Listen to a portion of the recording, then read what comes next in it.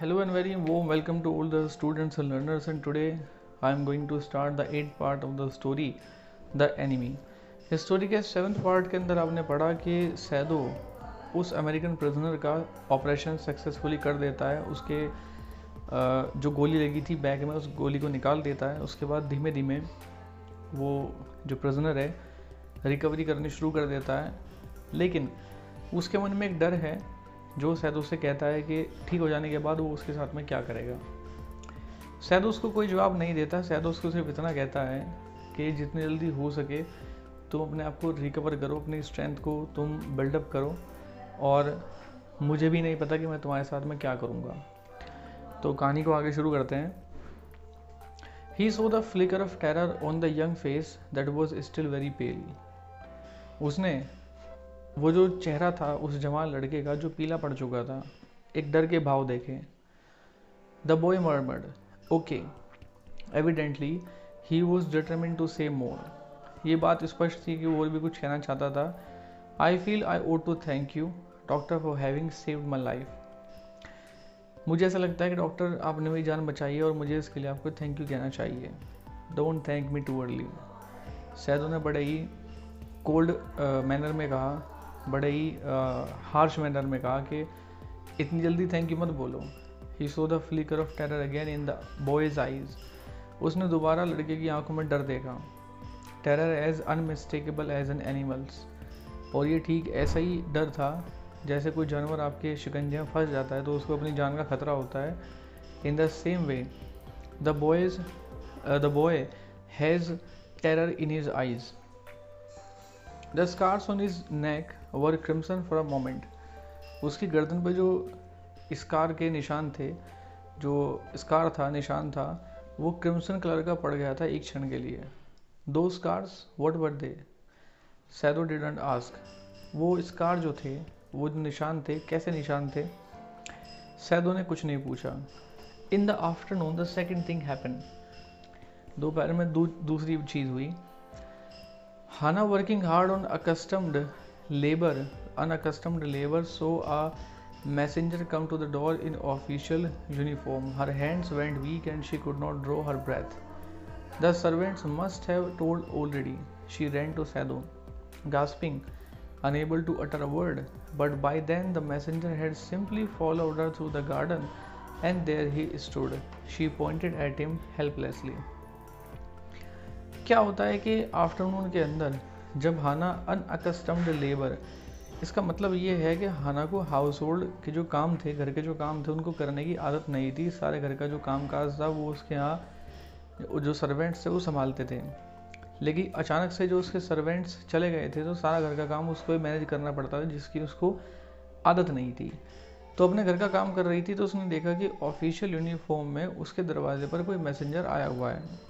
अब उसको देखने के बाद में उसका सांस लेना भारी हो गया और उसको अपने हाथ बड़े कमज़ोर से महसूस होने लगे। उसको ऐसा लगा कहीं ऐसा तो नहीं कि सर्वेंट्स ने बाहर जा कर के बता दिया हो। वो सैदों के पास में गई, हाँफते हुए, और वो कुछ भी कहने की स्थिति में नहीं थी।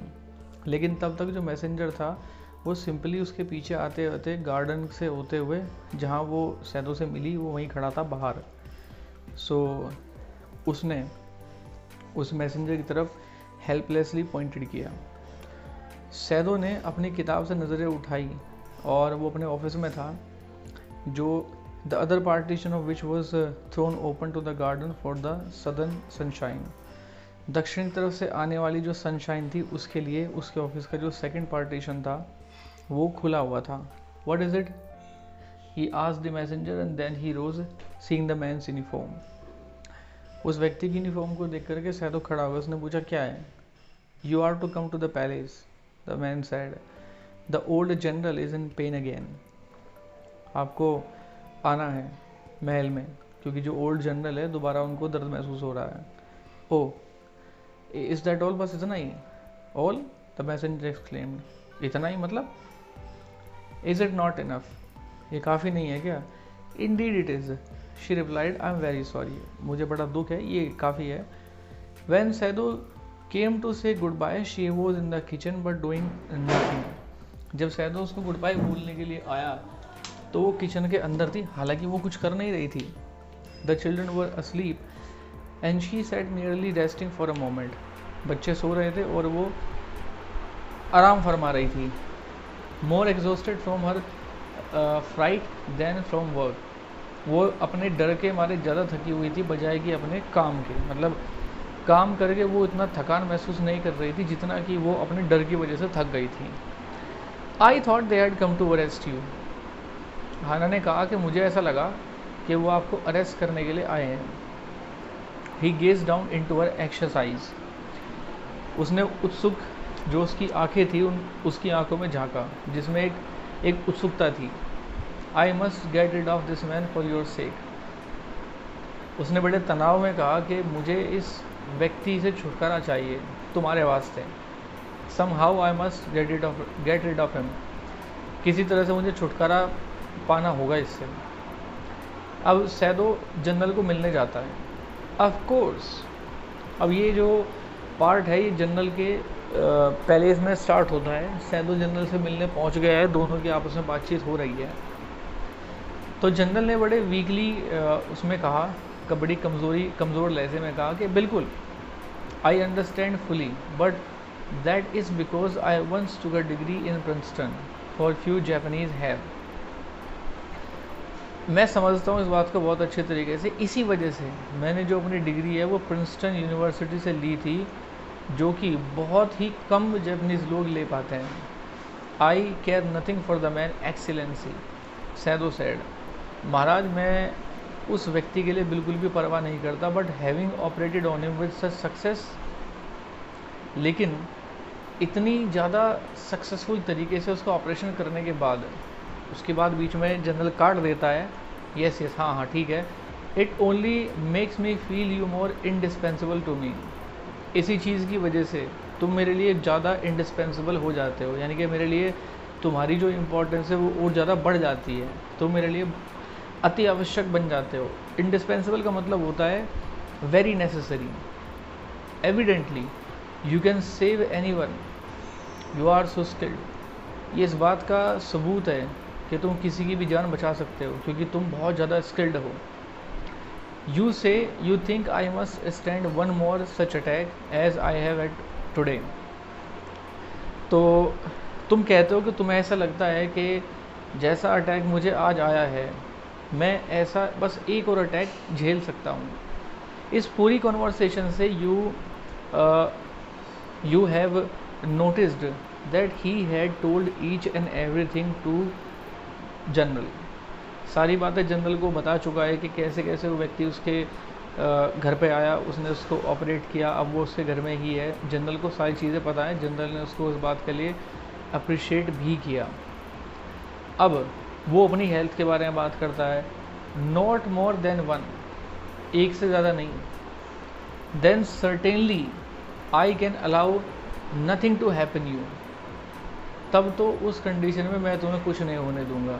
The general said with anxiety his long pale Japanese face became expressionless उसने बड़ी उत्सुकता के साथ में, जो कि उसका चेह जैपनीज जो चेहरा था, पीला पड़ चुका था, बिल्कुल एक्सप्रेशन लेस उसको ये बात कही। Which meant that he was in deep thought उसका मतलब ये था कि वो बड़ी गहरी सोच में था।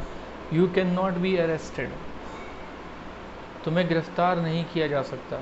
जनरल ने कहा अपनी आँखों को बंद करते हुए। Suppose you were condemned to death and the next day I had to have my operation मानकर चलो कि तुम्हें मौत की सज़ा हो जाती है। और अगले दिन मेरा ऑपरेशन है तो there are other surgeons excellency Sadao suggested Sadao ने सुझाव दिया कि महाराज, मेरे अलावा और भी सर्जन्स हैं।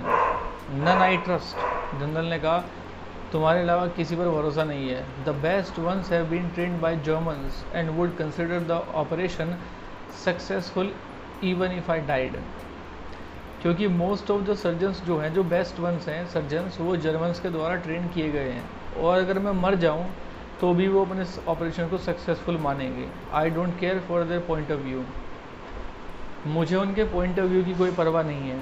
उसने आ भरी it seems a pity that we can not better combine the German ruthlessness with the American sentimentality ये बड़ी दया का विषय है कि हम जर्मन्स की जो रुथलेसनेस है, जो निर्दयता है, और अमेरिकन की जो भावुकता है, उसको हम कंबाइन नहीं कर सकते। Then you could turn your prisoner over to execution and yet I could be sure you would not murder me while I was unconscious तब तो क्या है कि तुम अपने प्रिजनर को फांसी के तख्ते पर पहुँचा सकते हो और मैं तब भी तुम्हारे पर यकीन कर सकता हूँ कि तुम अनकॉन्शियस हालत में मेरा मर्डर नहीं करोगे। जनरल हंस पड़ा he had an unusual sense of humour उसका जो सेंस ऑफ़ ह्यूमर था, वो बड़ा ही अनयूजल सा था। As a Japanese could you not combine these two foreign elements उसने पूछा एक जैपनीज़ के रूप में क्या तुम इन दो फॉरन एलिमेंट्स को कंबाइन नहीं कर सकते? सैदो हंसा I am not quite sure मैं इस बारे में पूरी तरीके से पक्का कुछ नहीं कह सकता but for your sake I would be willing to try excellency लेकिन आपके लिए मैं कोशिश करूँगा। जनरल ने अपना सर हिला, हिलाया। I had rather not be the test case मुझे टेस्ट केस मान के मत चलना। He felt suddenly weak and overwhelmed with the cares of his life as an official in times such as these when repeated victory brought great responsibilities all over the South Pacific यानी कि general की वजह से ही जो south Pacific था यानी कि जो दक्षिण प्रशांत महासागर था वहाँ पर जैपनीज़ की जो विक्ट्री थी वो जनरल की वजह से ही हो पाई थी तो इस वजह से जनरल के ऊपर रिस्पॉन्सिबिलिटीज़ काफ़ी थी एक ऑफिशियल के तौर पर it's very unfortunate that this man should have washed up on your doorstep उसने थोड़ा सा चिड़चिड़े अंदाज में कहा कि बड़े दुर्भाग्य की बात है, ये आदमी बह करके तुम्हारे दरवाजे आ गया। मैं भी ऐसा ही महसूस करता हूँ, सैदो ने बड़ी जेंटल तरीके से कहा।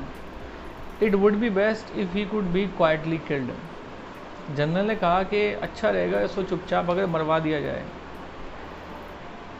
Not by you but by someone who doesn't know him तुम नहीं, किसी ऐसे व्यक्ति के द्वारा जो उसको नहीं जानता। I have my own private assassins assassins का मतलब होता है हत्यारे।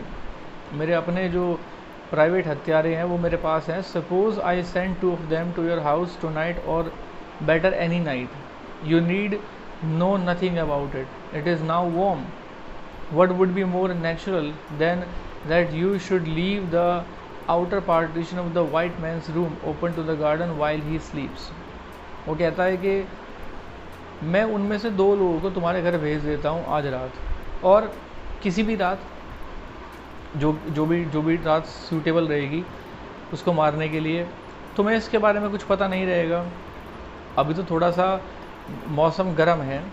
क्या होगा कि अगर नेचुरल तरीके से तुम जो आउटर पार्टीशन है, जहाँ पर वो वाइट मैन सोया हुआ है, गार्डन के साइड, उसको तुम जब वो सो रहा हो तो उस पार्टीशन को तुम खोल के रखो। मेरे किलर्स आएँगे, चुपचाप उसको रात में मार कर निकल जाएँगे, तुम्हें कुछ पता नहीं चलेगा और काम हो जाएगा।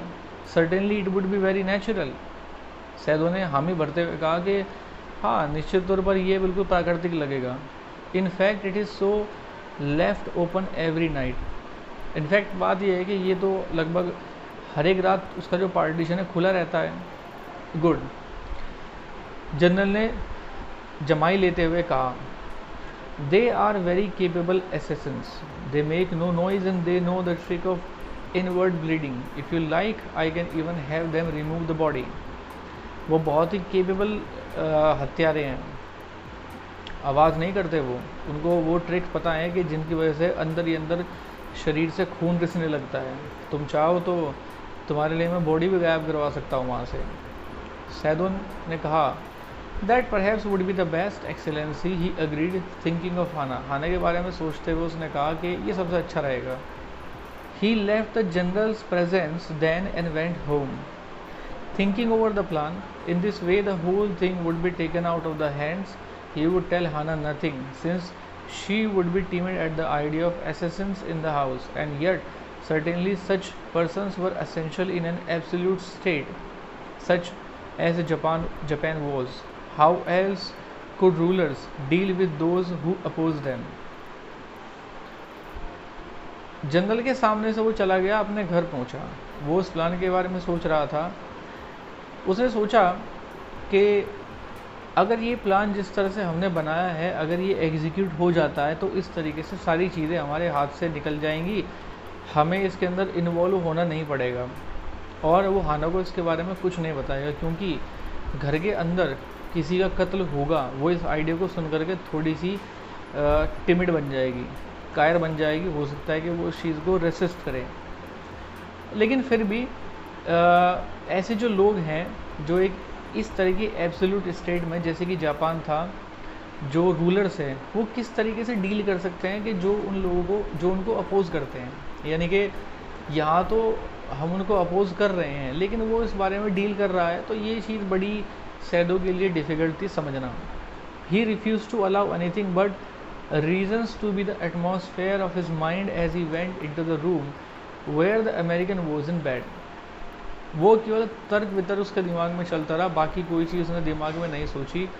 अब वो जहाँ अमेरिकन था, वो उस कमरे के अंदर गया। But as he opened the door to his surprise he found the young man out of bed and preparing to go into the garden वो जैसे ही कमरे में पहुँचा, उसने जैसे ही कमरे का दरवाज़ा खोला, उसके अचंभे का ठिकाना नहीं रहा कि जब उसने उस यंग मैन को बिस्तर पर नहीं पाया, जो कि गार्डन में जाने की प्रिपरेशन कर रहा था। So this is the eight part of the story the enemy what will happen with this young man क्या ये आदमी मरवा दिया जाएगा या इसको छोड़ दिया जाएगा। सैदो इस डिसीज़न पर अड़ा रहेगा या अपने डिसीज़न को चेंज कर देगा। We will come to know in the next part of the story till then thank you very much